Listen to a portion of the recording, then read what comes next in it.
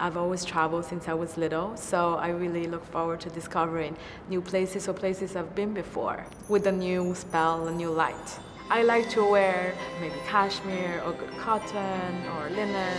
I often take long flights, so I like to, you know, feel comfortable, feel at home. Have a drink, such as a glass of champagne, and relax.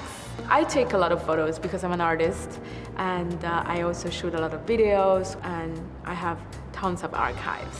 The best way to experience a new place would be not to read too much about where you're going and uh, to really, you know, let your instincts guide you and uh, just discover and enjoy.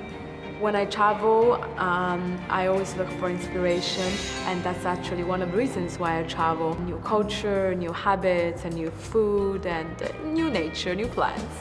I'd like to go anywhere. I'm always ready for the journey.